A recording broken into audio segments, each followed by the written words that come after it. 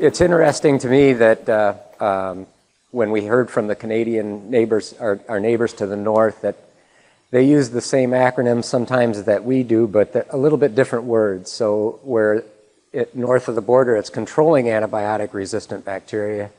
In the U.S., it's combating antibiotic-resistant bacteria. Maybe that says something about our culture. So I'm going to spend a little bit of time giving uh, some background information to you, a global perspective. Some of these things, of course, you've heard before uh, because there have been several speak speakers already to this point.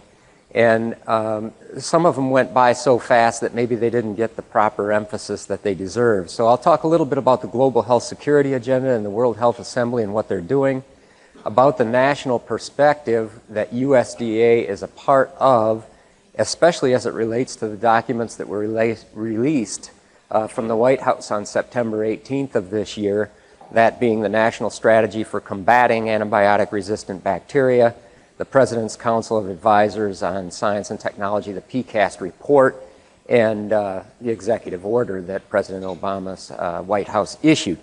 And then I'll move very quickly through those slides and get into the USDA roles and responsibilities and our relationship to the National Action Plan and what we plan to do next. And, and so these first few slides I may go through rather quickly, and we'll get to that uh, more important issue of what USDA is doing, at least for this talk.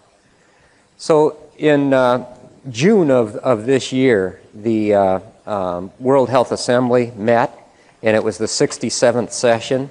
There were 11 uh, action packages that were decided upon as part of the security agenda, and the USA has placed priority on three of those 11 action packages. One is preventing bioterrorism, another is biosecurity and biosafety, uh, both from an animal and, and plant and uh, human perspective. And the most important one in terms of how the USA ranked them in, in importance is this issue of antibiotic resistance.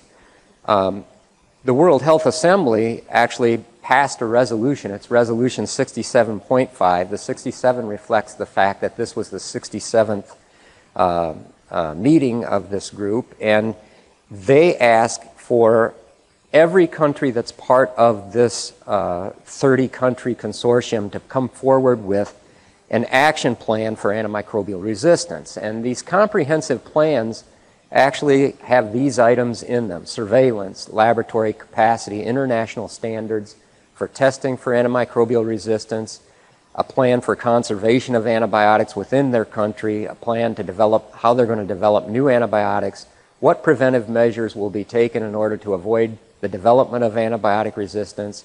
And one of the areas of emphasis that hasn't been talked about much at this meeting is the idea of point of care diagnostics that would help us differentiate when we have sick patients, sick animals, or sick people, whether that's an infection that's being caused by a bacterial agent that could be treated with proper use of antibiotics, or if it's one that doesn't require the use of antibiotics. Those point of care diagnostics are going to be an important part of reducing the antibiotic usage that is not indicated when, for instance, it's a viral disease uh, causing a sinusitis like we heard from the speaker yesterday.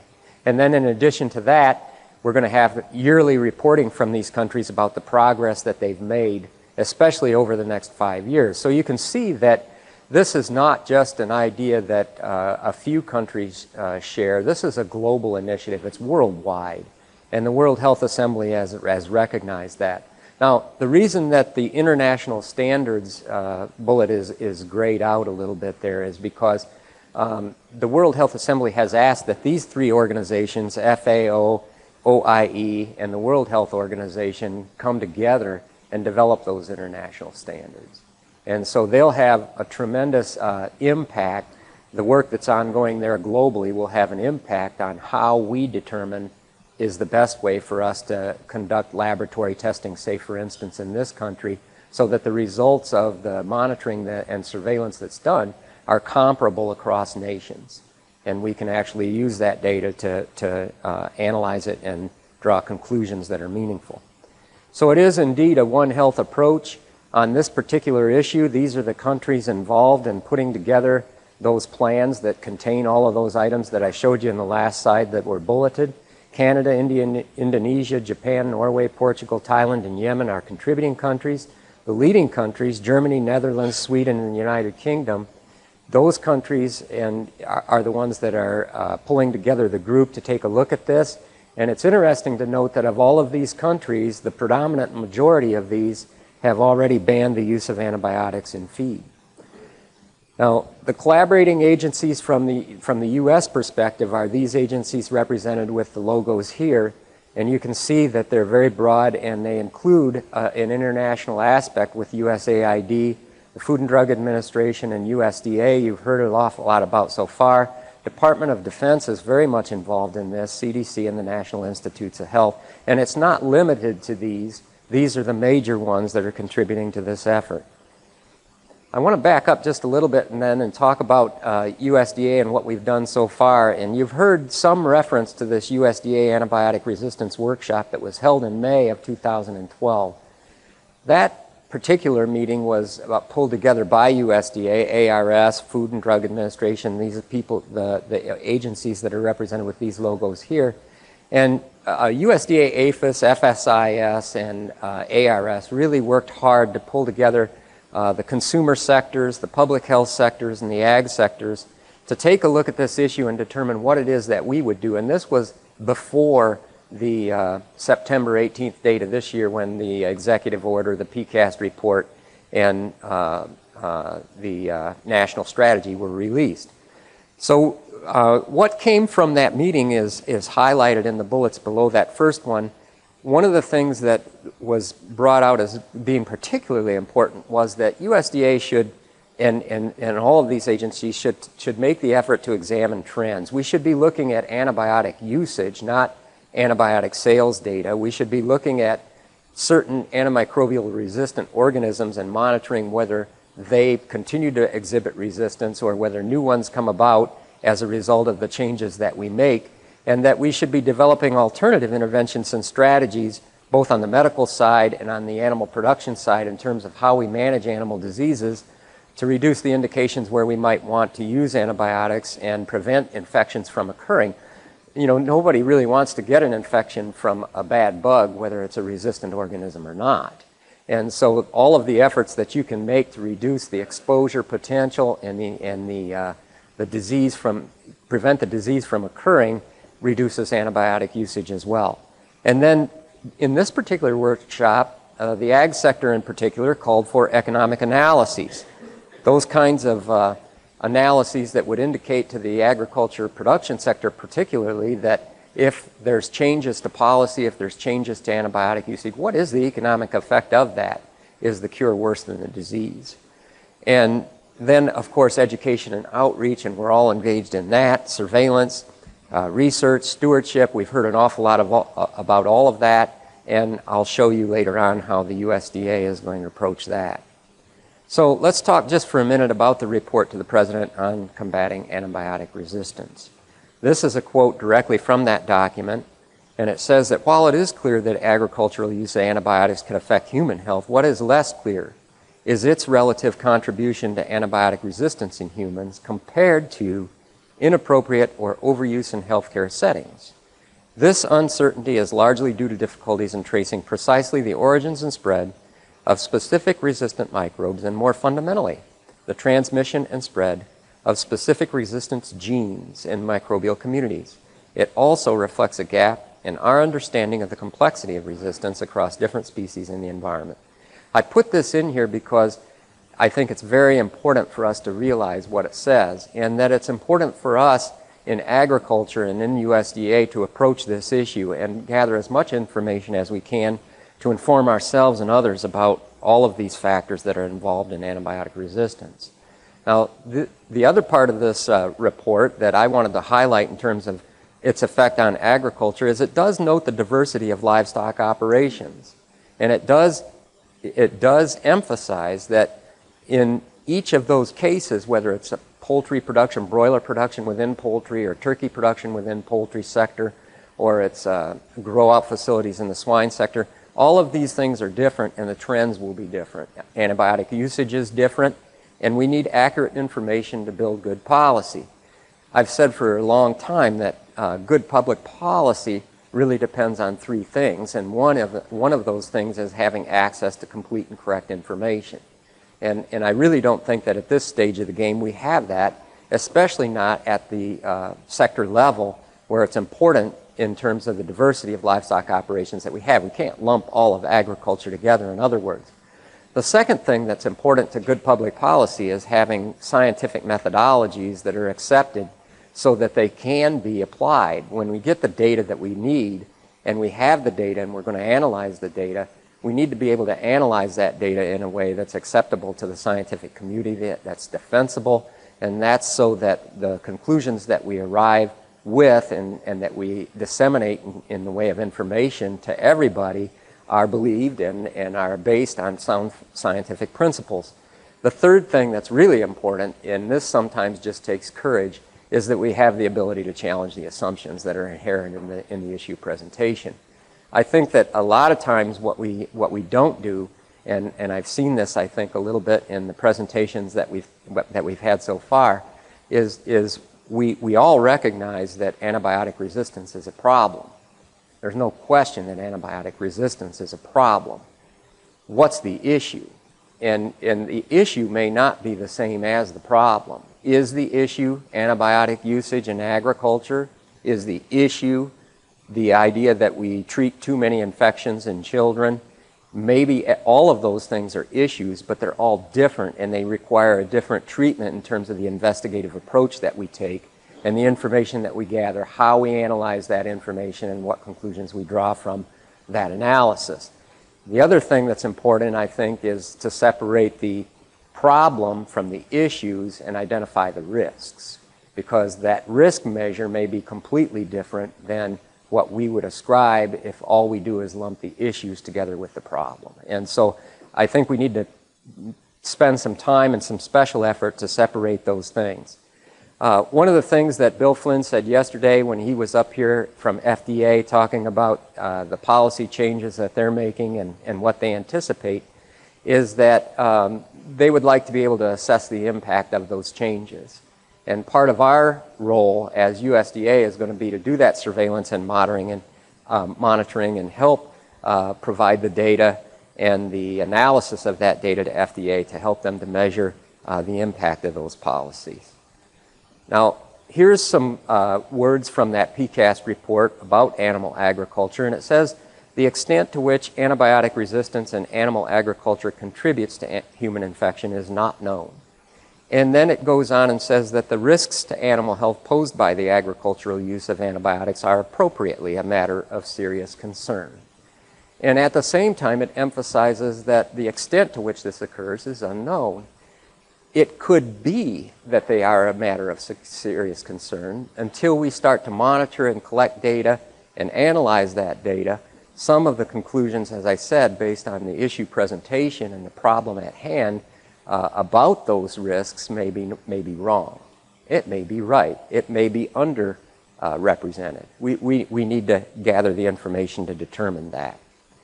So this is the national strategy document that was released at the same time. This is the vision that was elucidated in that document, um, that we would work domestically and internationally to prevent, detect, and control and uh, illness and death caused by infections related to antibiotic resistant bacteria.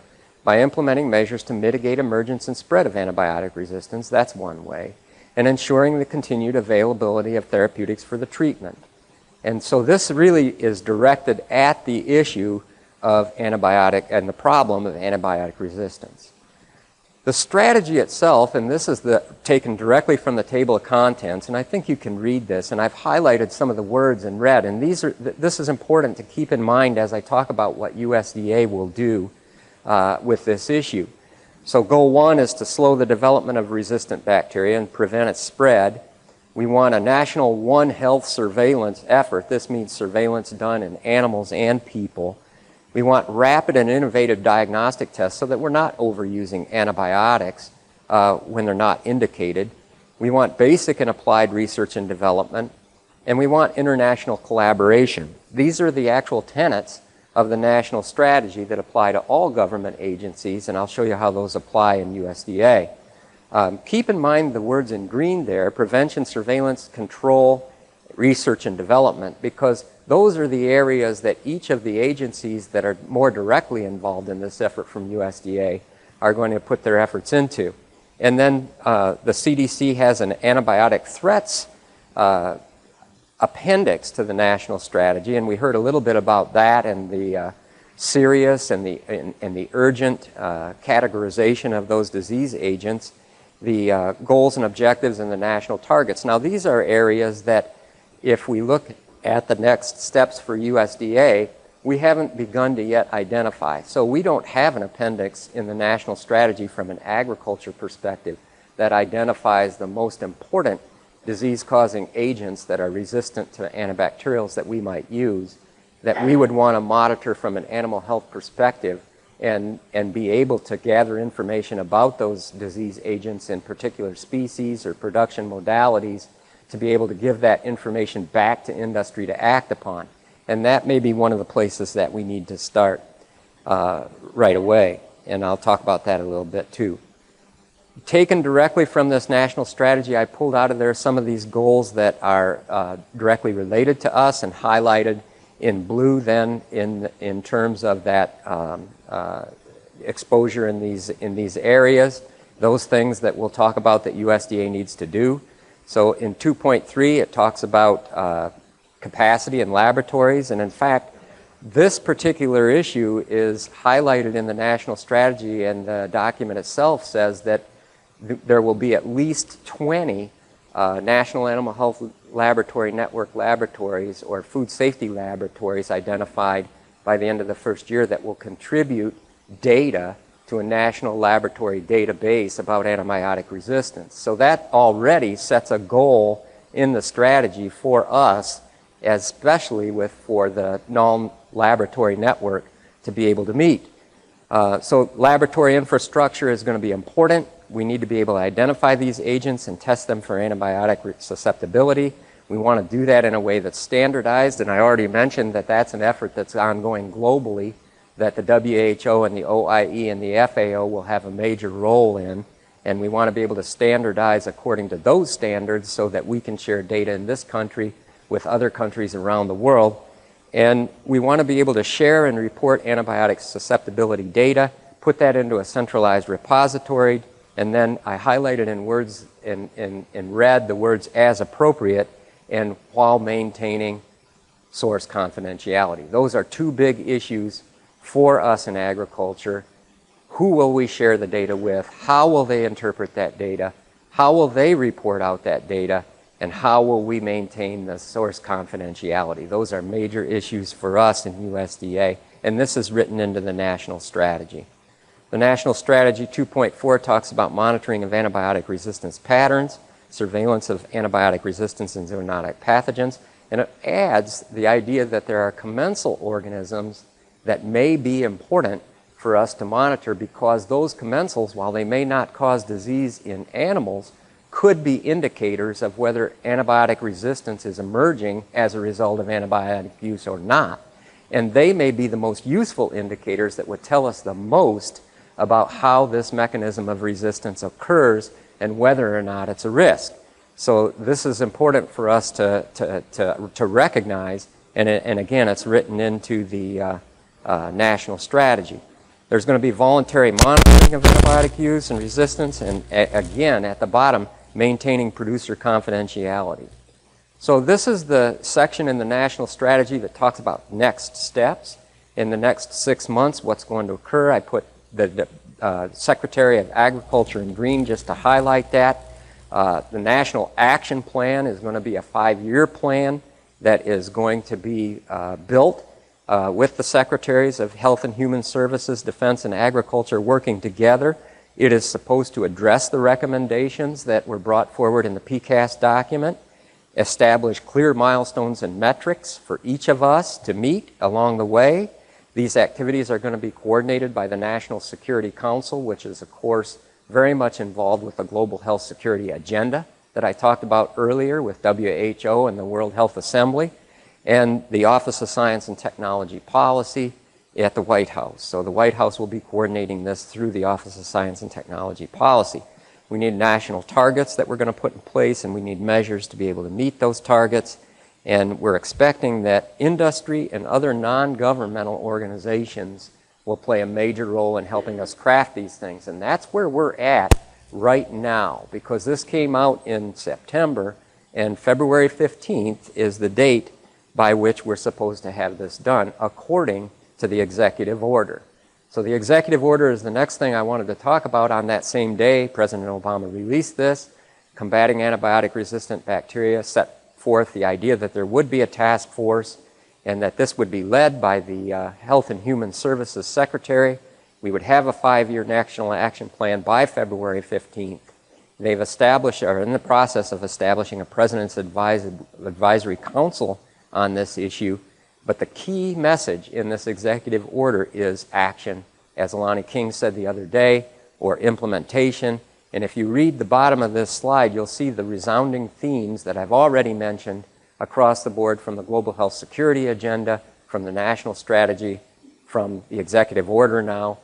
These things are repeating themselves as we go forward. Surveillance, monitoring, instance of new resistance, trends over times, and, and that sort of thing inter international collaboration.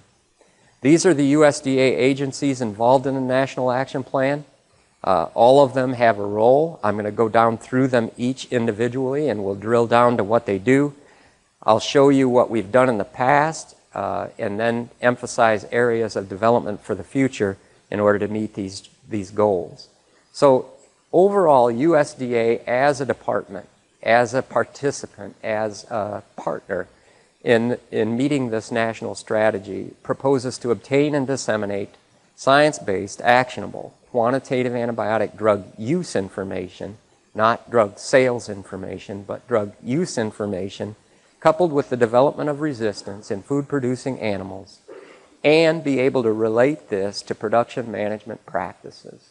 What that means is that we have to be intimately familiar with how animals are raised, how animals are managed on the farm, and be able to relate those management practices and the use of antibiotics then to whether resistance is emerging as a, as a problem, as a risk, as an issue in animal agriculture, and, and be able to relate that as a risk then to human health as well.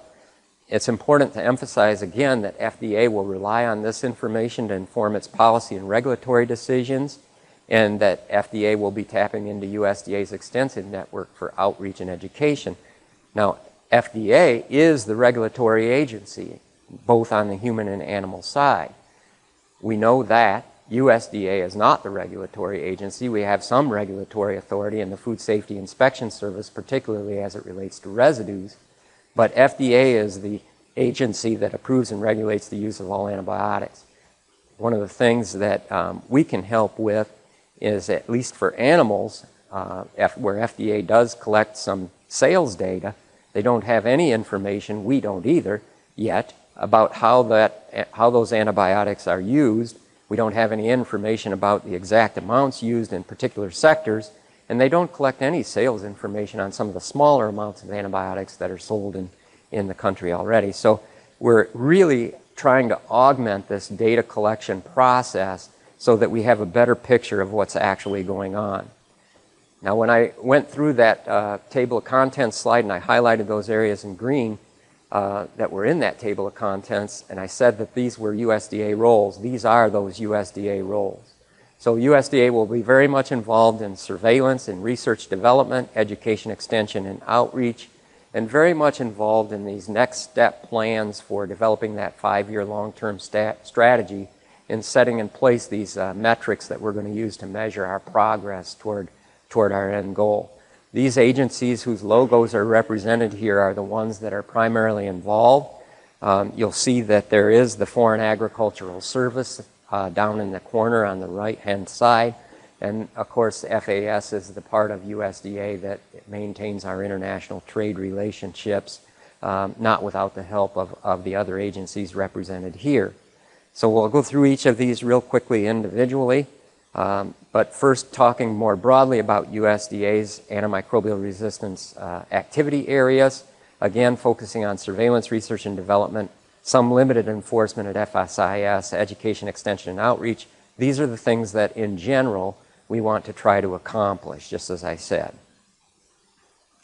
So we have these objectives in mind. Um, we want to be able to determine or model the purposes of in, and impacts of antibiotic use in food producing animals. We want to be able to monitor antibiotic drug susceptibilities and monitor for drug use in food animals that are presented at slaughter. Again, that's a, mainly a FSIS role. We want to be able to identify feasible management practices that producers can adopt that will prevent the need to use antibiotics. And we want to develop new technology applications and, and be able to uh, apply them on the farm. Um, one of the challenges is in modeling uh, these relationships, uh, not having enough observational data to parameterize the model, to understand the positive and negative feedback loops, the influence on the models that we might create, and the understanding that emerges from those models to be able to make policy decisions based on, on what they tell us. So APHIS the, the part of USDA that I'm part of does the uh, monitoring and surveillance. We collect information about antimicrobial use and biologic, and we collect biological samples on farms. And we evaluate the epidemiologic relationships between farm management, antimicrobial use, and on-farm resistance patterns. That's going to be uh, a primary role for APHIS. And primarily that role will be filled by the National Animal Health Monitoring System.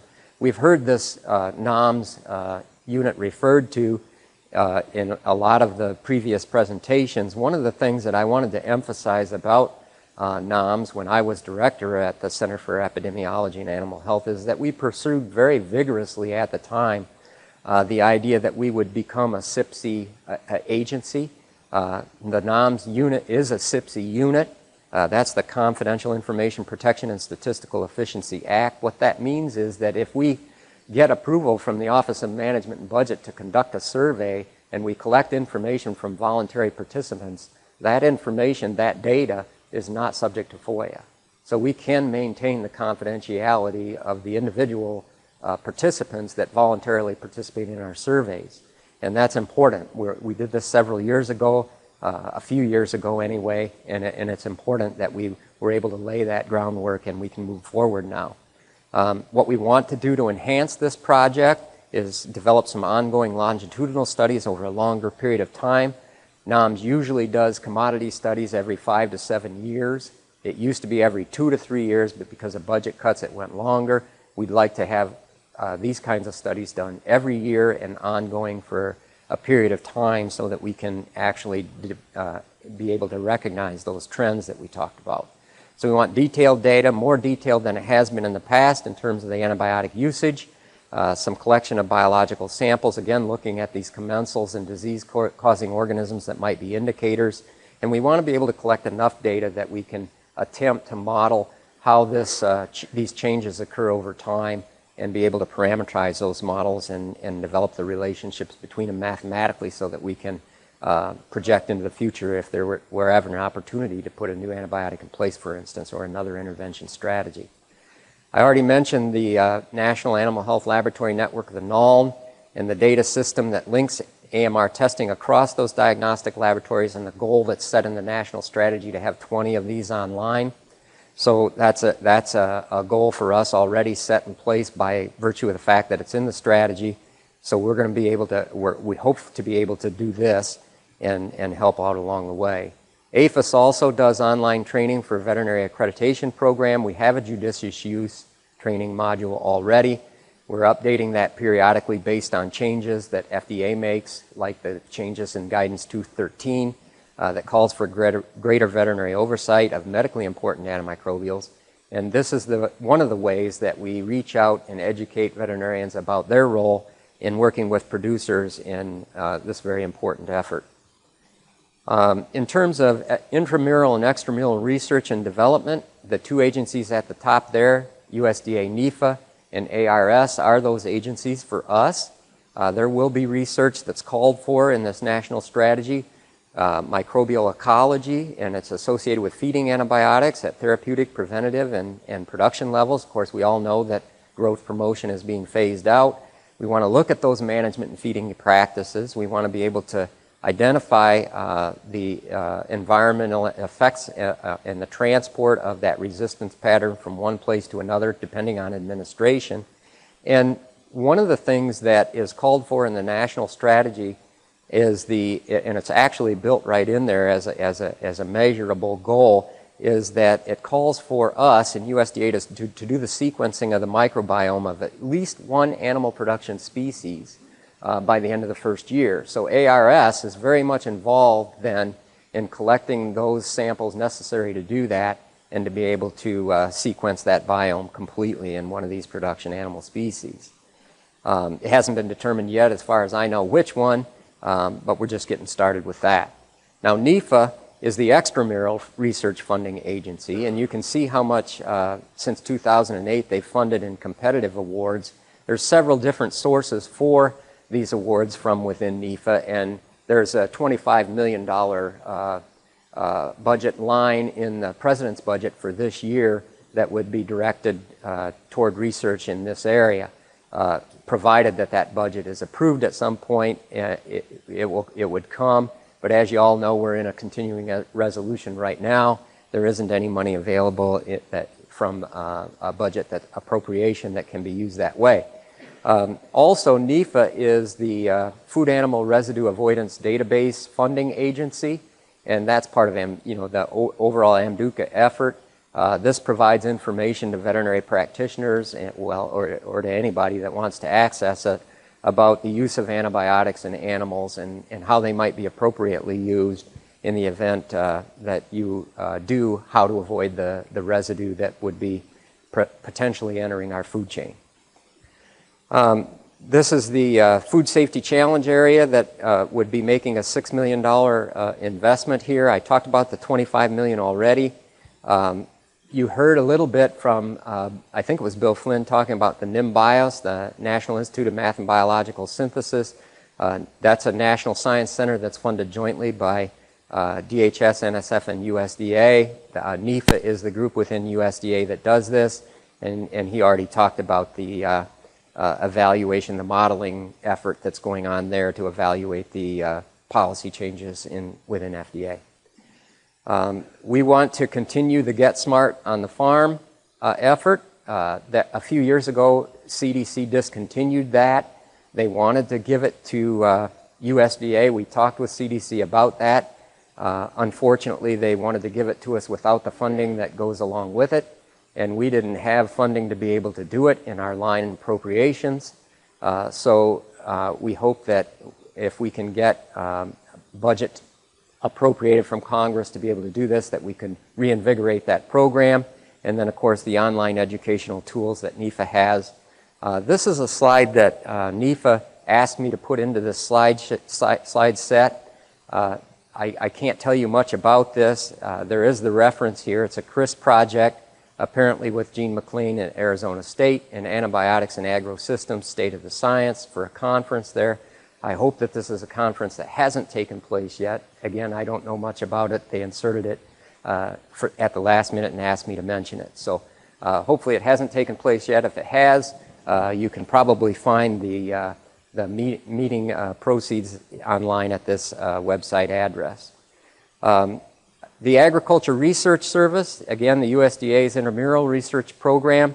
These are the areas of research that ARS will engage in, investigating changes in the intestinal microbiome I already mentioned. But all of these uh, other areas, development of alternatives to antibiotics, what happens when you feed probiotics, prebiotics, uh, novel antimi antimicrobials that haven't been developed yet, uh, this is the area of intramural research from ARS's perspective that they really focus in upon.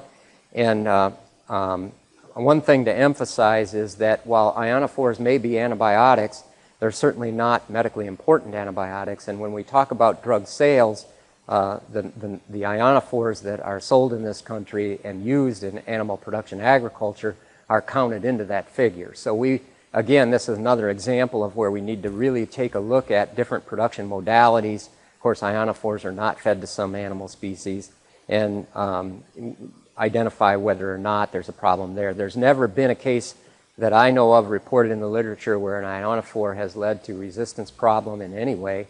or uh, in any way uh, contributed to the human health uh, resistance issues that we have now. I, want, I, I, stuck this slide in last night. It may be a little bit out of place. Um, one of the things that happened at that May 2012 meeting was that we pulled together the human health sectors, the uh, consumer sectors, and the agriculture sectors. And the consumer sectors and the uh, public health sectors really emphasized that they felt that uh, agriculture needed to uh, really move into an area where they, they had better hygiene. And what was clearly evident from, from that meeting is that uh, those sectors tend to associate production agriculture with poor hygiene. And what I would, what I would like to emphasize here is that um, it really is because of disease control that we have animals in production settings today where economies of scale can be realized. And all in, all out management of facility is probably the number one area where it's made a big difference. And of course, this is commonplace in, in the poultry rearing sector, in swine production, and more and more common as we look across the board in agriculture. And what it means is that um, you're able to fill a building with all of the all animals of the same age and genetic character um, that are equally as susceptible, equally as resistant to disease-causing organisms, and you bring them into a facility that's been cleaned and disinfected, eh, cleaned and disinfected between fills. So we bring animals into a, a building and we grow them to a certain phase. We move them out we move them into a clean facility, one that's been cleaned and disinfected before that building is filled again.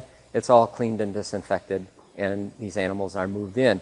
So these technologies, when we talk about technologies, we, we tend to think of vaccine development, diagnostic development, the science-based technology development. But in the production setting, farmers think of technologies like phase feeding, split sex feeding, artificial insemination, to introduce new genetic stock into their herds, a lot of farmers do not buy uh, animals to breed with. They buy semen or they collect semen and inseminate. And so these are all practices, production practices that are technologies that are applicable on the farm that control disease, diseases in a production setting.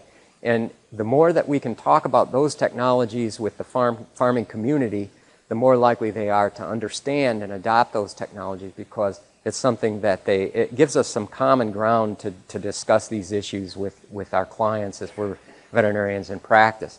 I can remember when I was in dairy practice, when 100 cow, cow dairies were commonplace, that um, as they grew and became larger and larger, some of the production practices that they had in place, where, for instance, there might be a single pen that was a calving pen, a sick pen, um, you know, and it, it, was used for everything because that's all they needed. Didn't work very well when it was contaminated with all sorts of disease-causing organisms because you were pulling dead calves out in the same pen that newborn calves were expected to spend their first few hours of life in, and you had all kinds of problems with navel ill and joint ill and so forth. And until you, just, you, you were able to convince that farmer that they ought to calve these cows out in someplace different than where they delivered the mummified calf that came from a cow that was aborting, you were going to have those problems. Well, as they grew larger and as, as they began to understand these things, then of course we had those separated. And market dynamics certainly are important in driving this forward. So if we can explain to the farming community why these technologies uh, make a difference and what that means to their bottom line, then they're more likely to adopt them too. And that's our job as veterinarians. That's our job to be able to do that. The Economic Research Service I mentioned already, analyzing the impact of various production inputs and market level impacts. Uh, National Ag Statistics Service conducts these surveys along with us. They do collect some information on antimicrobial use. We have encouraged them to do that from an APHIS perspective. Uh, there is an agriculture research management resource management survey that's conducted every year by ERS and NASS with consultation from us. It focuses primarily on farm finances. This is the place where we can look at some of these on-farm technologies and, and, and convince, if you will, based on the information that we gather, uh, the, the production community that they could be adopted to their advantage. And we expect to be able to enhance these surveys and collect more information on antibiotic drug, drug use and related production practices. Now, the Food Safety Inspection Service, I already mentioned, they monitor AMR at slaughter and processing. I think that you're probably pretty familiar with that. You can read here about the cecal content statistically based sampling. Uh, the National Residue Program is, an, is, a program that's been in place since 1967. Uh, that tests for, not just for antibiotics, but all chemical contaminants. Uh, it's interesting to hear discussion about uh, uh, meats that are antibiotic free. And, you know, according to what we do in FSIS, all meat is antibiotic free. There should not be any antibiotic residue in any meat that arrives at the meat case regardless of whether the antibiotics were used in the production setting at some stage or not. And so that's important, it's an important message to get to the consumer. We want to be able to enhance NARMS, and, and NARMS you've heard about an awful lot. You saw some data presented by the CDC speakers earlier in this conference. Uh, we would like to be able to collect more biological samples at slaughter, culture for multiple bacteria, and be able to relate that then back to those management practices those technologies that we put in place on the farm. So again, the United States Department of Agriculture is engaged across the board in surveillance, research, development, education, extension, and outreach. And one thing that this slide emphasizes, or that it's intended to emphasize, is that none of this work that we do can be done without the voluntary participation from our, from our uh, uh, uh, partners in the production sector. We need participation from other agencies in the federal government we need industry participation. We need all of the commodities to be on board with this issue, and we need our academic partners. If we don't have that, then we can't implement any sort of national strategy and plan to contribute in any meaningful way from the USDA. And again, I'll emphasize that one of the main concerns of the uh, producers themselves uh, has been addressed, at least through uh, as much as can be addressed. And then, of course, Title VII is the old uh, provisions in the 2008 Farm Bill that ensure confidentiality for producers uh, when they provide uh, proprietary information. And then again with the global and international cooperation. So the challenges, probably I could have put funding, funding, funding, funding. Uh, but funding is certainly a challenge. Uh, this is not going to be cheap. You heard Lonnie King talk the other day about the PCAST report. It does have some dollar figures in it. Uh, it recommends that the overall budget uh, for uh, human health sector go from 450 million to 900 million. We're asking for 25 million in, in, this, in this president's budget. Um, you know, it's going to take money. It's going to take money and it's going to take support. It's going to take voluntary participation. Uh, the coordination itself with the various action plans that we've put in place across USDA is going very smoothly. Uh, there is a regulatory process in the U.S. that seems to be working. Uh, you've seen that come from the FDA and uh, uh Guidance 209 and 213. Uh, it looks like it, my, my sense from this meeting, having attended it in the past, is that the tone has changed. I, I recognize that in this meeting today. It looks like we've got the opportunity for some good support by producers, veterinarians, commodity groups, and others. And our challenge right now is to develop that five year action plan. And so, based on the executive order, it's important to understand that while we have this framework in USDA with all the things that we do and all the ways that we can contribute and all of the build out that we would like to see happen, if we get the funding, we still need you all to help us put together the plan. Who will we work with first to be able to come up with some of these answers first and foremost? What sort of data will we collect? How will we use that data? How will we generate information that's useful and of value back to industry and then be able to uh, contribute in the overall sense of, it, of, the, of the issue to the human health sector and do that globally? That's going to be our, our next big challenge, and we're right in the middle of that right now. Um, this is, uh, I'll, I'll, end with this uh, quote that I found. Uh, it comes from one of the most uh, preeminent microbiologists of our time, uh, some of you may have read her work. She, uh, with James Lovelock, developed the, the Gaia theory of Earth as a living organism. She was a microbiologist married to a cos cosmologist. Uh, Lynn Margulis was married to uh, Carl Sagan. And uh, she did a lot of work in the microbiological world. And, and what I like about this is, is the way that she talks in the beginning about how our culture resists the true values of the scientific way of knowing, that we disdain observational patience leading to open minded description. We really need to be able to observe what happens on the farm and, and be able to describe that. And we need to be able to describe that in an open minded way for everybody to understand. And we need to not discourage eclectic methodologies because we don't really know how best to analyze the data that we collect in terms of this very, very complex issue of antimicrobial resistance. And when we detect resistance, we need to be able to determine what the risks are as much as whether or not it's an issue or a problem. Because the problem may be not as great as we think it is if we can identify the risks. And, and we really need to be able to encourage that researchers develop uh, different types of methodologies to be able uh, to do that. And then uh, we dismiss attentive care. That's not to dis diminish, diminish, in my mind, the idea that stewardship is important.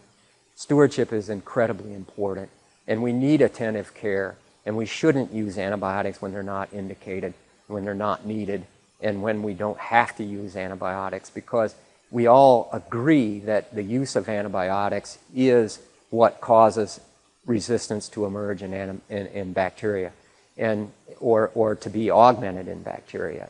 I, I don't think that any of us question that. And so we need that attentive care no matter what.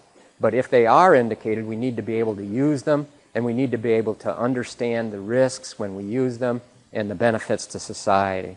So this is the group in USDA that's working on the uh, action plan right now. These are the people that have been involved here. These are not the only people involved. Uh, these are some of those people that are directly involved that you can contact if you have ideas or, or things that we can do.